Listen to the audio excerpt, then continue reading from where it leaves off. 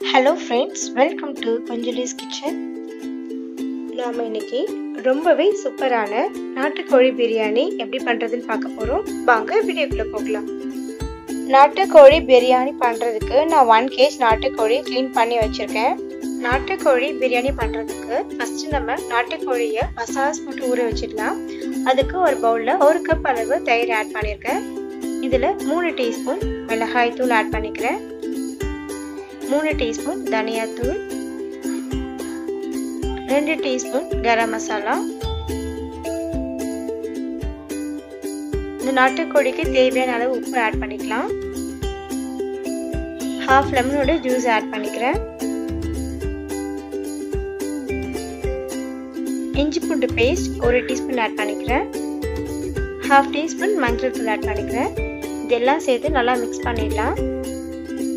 நல்லா மிக்ஸ் பண்ணிவிட்டு வாஷ் பண்ணி வச்சுருக்க நாட்டுக்கோழி இதில் ஆட் பண்ணி நம்ம ஊற வைக்க போகிறோம் ஒரு ஹாஃப் அன் ஹவர் ஊறணும்.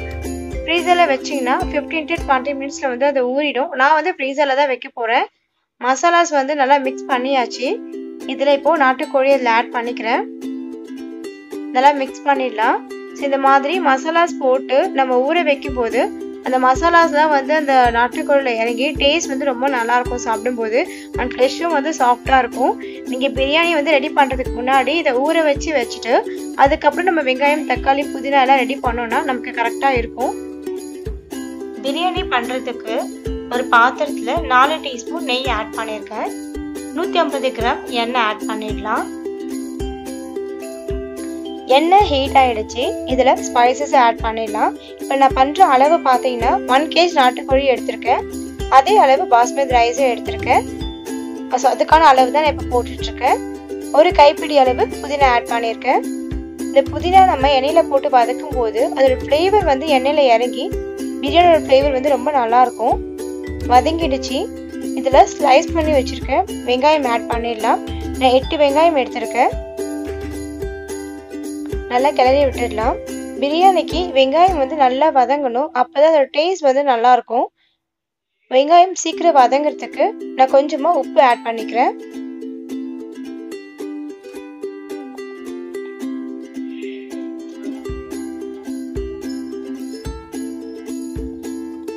நல்லா கிளறி விட்டுடலாம்.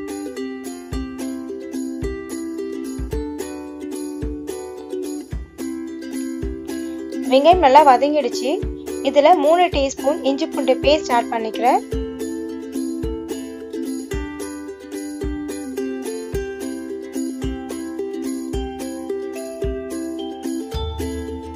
அஞ்சு பச்சை மிளகாய் கீரி எடுத்திருக்கேன். அதையும் ஆட் பண்ணிக்கிறேன்.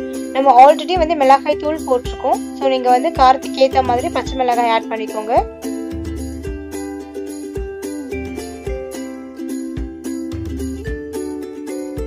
கிளறி விட்டுடலாம். இதில் இப்போ ஊற வச்சு வச்சிருக்க நாட்டுக்கோழியை இதில் ஆட் பண்ணிடலாம்.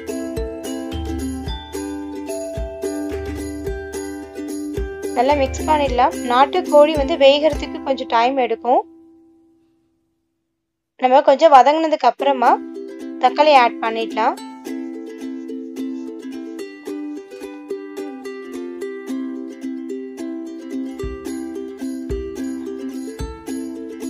வதங்கி இருக்கு ஆறு தக்காளி நான் கட் பண்ணி எடுத்திருக்கேன். அதை ஆட் பண்ணிக்கிறேன்.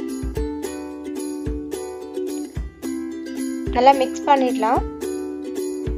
நம்ம இப்போ இதில் தண்ணி எதுவும் ஆட் பண்ண போகிறதில்ல இந்த தக்காளி இருக்க ஜூஸு நம்ம ஆல்ரெடி தயிர் ஆட் பண்ணியிருக்கோம் சிக்கன்லேயும் வந்து தண்ணி விடும். அதுலேயே தான் நம்ம இந்த சிக்கனை வேக விட போகிறோம் ஸோ நம்ம ஒரு மூடி போட்டு அதை வேக விடலாம்.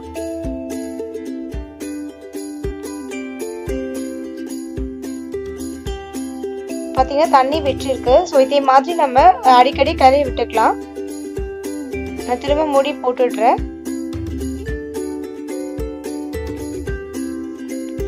நம்ம அடிக்கடி கிளறி விடணும். இல்லைன்னா வந்து அது அடி பிடிச்சிடும். இந்த தண்ணி எல்லாம் ட்ரை ஆகட்டும். நம்ம வெயிட் பண்ணலாம்.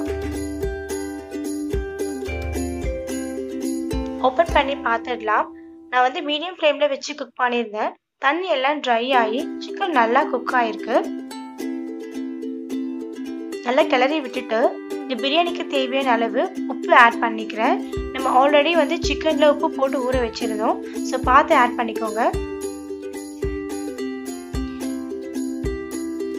ஒரு கைப்பிடி அளவு கொத்தமல்லி ஆட் பண்ணிக்கிறேன். கொஞ்சமாக புதினா ஆட் பண்ணிக்கிறேன். நல்லா மிக்ஸ் பண்ணிடலாம்.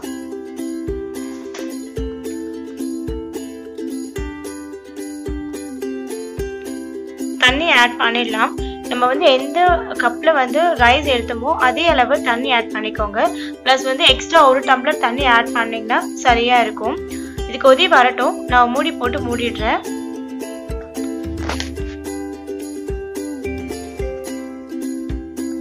கொதி வந்துடுச்சு. இதில் நான் ஒன் கேஜ் பாஸ்மதி ரைஸை ஹாஃப் அன் ஹவர் ஊற வச்சு எடுத்திருக்கேன். அதை ஆட் பண்ணிக்கிறேன்.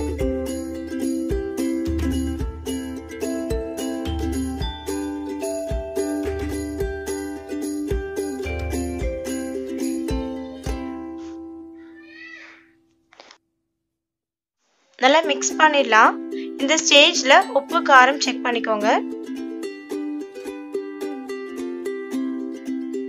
காரம் சரியா இருக்கு. உப்பு மட்டும் கொஞ்சம் ஆட் பண்ணிக்கிறேன். உப்பு வந்து கொஞ்சம் தூக்கலாக இருக்கணும். நீங்கள் டேஸ்ட் பண்ணும்போது அப்போ தான் வந்து கரெக்டாக இருக்கும். உங்களுக்கு ரைஸ் வந்து வெந்து வரும்போது. ஹாஃப் லெமனோட ஜூஸ் ஆட் பண்ணிக்கிறேன். ஸோ அவ்வளவுதான். நல்லா மிக்ஸ் பண்ணிட்டு ஒரு மூடி போட்டு மூடிடலாம். இது தண்ணி வந்து ட்ரை ஆகட்டும். நம்ம வெயிட் பண்ணலாம். ஓப்பன் பண்ணி பார்க்கலாம். தண்ணி ட்ரையாக இருக்குது கம்ப்ளீட்டாக ட்ரை ஆக வேண்டியதில்லை. இந்த அளவுக்கு இருந்தால் கரெக்டாக இருக்கும். ஸோ நம்ம மிக்ஸ் பண்ணிட்டு இப்போ தம் போட்டுடலாம்.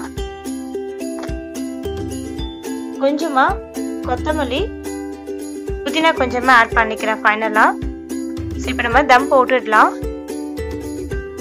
தம் போடுறதுக்கு நான் வந்து தோசை கல் வைக்க போகிறேன் இது ஹீட் ஆகட்டும். தோசைக்கல் ஹீட் ஆயிடுச்சு. இதில் அந்த பாத்திரத்தை வச்சிடலாம்.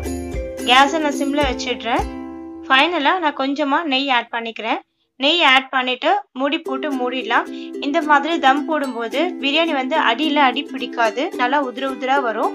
ஸோ நம்ம வந்து ஃபிஃப்டீன் மினிட்ஸ் வந்து சிம்லேயே வேக விட போகிறோம் வெயிட் பண்ணலாம். ஃபிஃப்டீன் மினிட்ஸ் ஆயிடுச்சு. ஓப்பன் பண்ணிடலாம். ரைஸ் வந்து நல்லா மேலே பூத்து வந்திருக்கு. ஸோ கரெக்டாக குக் ஆயிருக்கு. நம்மளுடைய நாட்டுக்கோழி பிரியாணி சூப்பராக வந்திருக்கு. ஸோ ரைஸ் பார்த்தீங்கன்னா தெரிஞ்சிருக்கும். நல்லா உதிர உதிராக வந்திருக்கு. ஸோ நீங்களும் வீட்டில் கண்டிப்பாக ட்ரை பண்ணிவிட்டு எப்படி இருக்குன்னு கமெண்ட் பண்ணுங்கள்